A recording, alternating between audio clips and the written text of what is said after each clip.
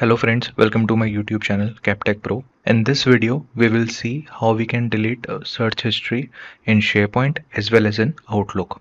So friends, let's go to our lab environment and let's start our today's video demonstration.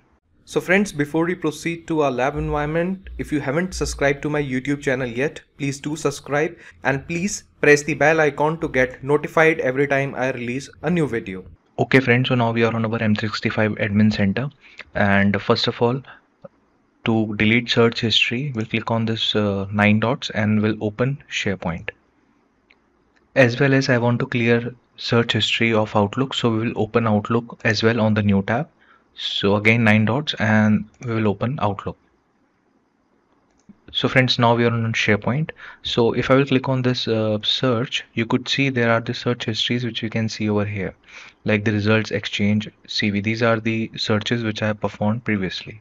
Similarly, if I'll go to Outlook and if I will click on search, you could see these are the three entries of search which I have performed. So in the SharePoint, uh, you can, you know, click on this cross and just, you know, remove the search history.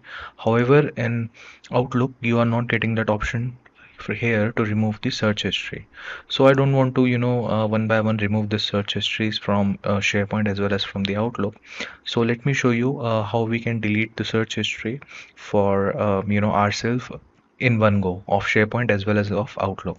So for that, uh, either you you are on you know the Outlook or SharePoint, what you need to do. So to clear the search history, uh, what we'll need to do, we need to click on this you know our picture, and here you will see the option of View Account so you have to click on view account. And once you will click on view account uh, here you will get the option of setting and privacy. So under setting and privacy you will see the tab privacy. And in the privacy uh, section there is the first option you will get Microsoft search history. If you will click on it you will get two options like the clear history and download history. So if I click on download history you can you know select Outlook SharePoint Office and you can click on confirm. So once you will download the search history if I'll open this so you will see the search term and the date and timestamp on which the searches were performed. So as you could see these are the you know the search term and timestamp of the searches which I have performed individually. Now let's go back uh, to our you know same page. So here now we'll click on clear history and you can select the option. And you can now select the option to clear the search history. Like if I want to I want to do it for the Outlook as well as for the SharePoint and office.com so if I click on confirm okay so you will get a message it has been cleared. You will click on close. Now let's back go back to the SharePoint. Let me refresh my page.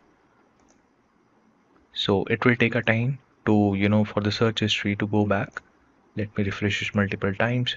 Still it's there let's see the status of outlook. Due to cache and sometimes uh, it takes time to you know uh, the search history to get you know clear. So as you can see on here on the outlook uh, we are unable to see now the search history which we have you know performed previously. The search term basically which we have performed previously. And in the SharePoint as well let me again refresh. No here we still have in the SharePoint so I will wait for a while and let me see if they are gone or not. So let me refresh it one more time. And here you could see the search history of the SharePoint is also you know vanished away. It is also cleared. So friends that's how you can clear the search history of SharePoint as well as of the Outlook.